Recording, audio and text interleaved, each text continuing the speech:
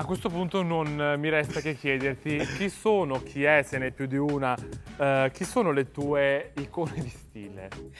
Allora, la mia icona in generale nella vita è Britney Spears, che come vedi quando uh, viene paparazzata in giro per, per Los Angeles è, con... è, se è, sempre in pigiama, in tuta, con sì. i capelli a cazzo di cane. Ah, quindi una Britney Spears, the backstage of Britney Spears. Esatto, esattamente. Ok, e invece sul palco, cioè per quanto riguarda, come dire, la tua iconografia da da showgirl quale sei?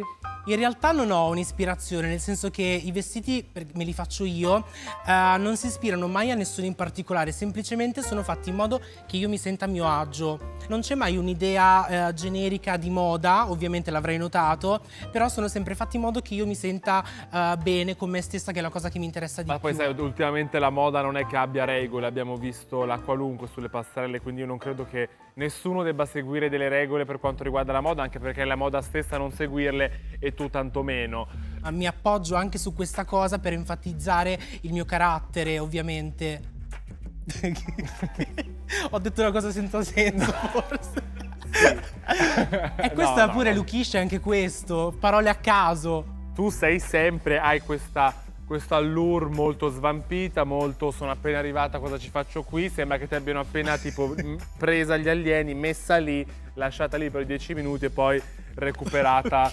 C'è mai un momento in cui tu sei seria? Sì, sì, ovviamente sì, nel privato, perché come io dico sempre, Lukish e Luca sono due persone completamente differenti. Luca è la mente che... Io con chi sto parlando? Adesso con una via di mezzo. Ah, ok. Eh, ah, perché c'è anche la via di mezzo, ah, ovviamente. Siamo, tre, siamo tre in realtà.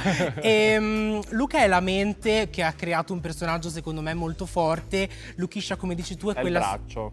È, no, è quella svampita semplicemente. È quella che metti in essere. È tipo il burattino, ecco, facciamola, facciamo questa cosa, il burattino e la mano e dentro il è, braccio. È il, il braccio. esatto, e, però chiaramente Luca, cioè, io mi ritengo comunque a parte tutto un ragazzo eh, intelligente, umile, modesto, un ragazzo semplice, comunque vengo dalla campagna, ho una vita normalissima al di fuori del, dei palchi, degli studi, per cui sì, ci sono dei momenti in cui mi spengo, soprattutto la sera, quando magari metto a letto e ripenso alla giornata che, che, ho, che ho passato, però sì, esiste anche questo. Perché mi... mi fai ridere? In senso buono, ovviamente. Senti, Luchiscia o Luca, o... secondo te questa, questa competizione avrà cambiato in qualche modo il, il tuo modo di fare drag?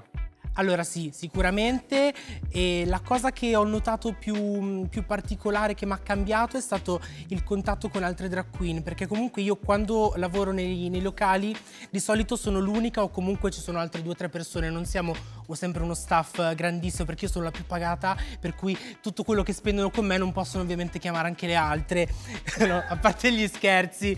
Mm, il contatto con le altre mi ha, mi ha cambiato tanto, mi ha fatto vedere diversi punti di vista anche perché perché a parte tutto si è creato veramente un gruppo per cui anche avere dei pareri artistici da parte di uh, artiste completamente diverse da te ti aiuta a crescere, quindi la risposta è sì.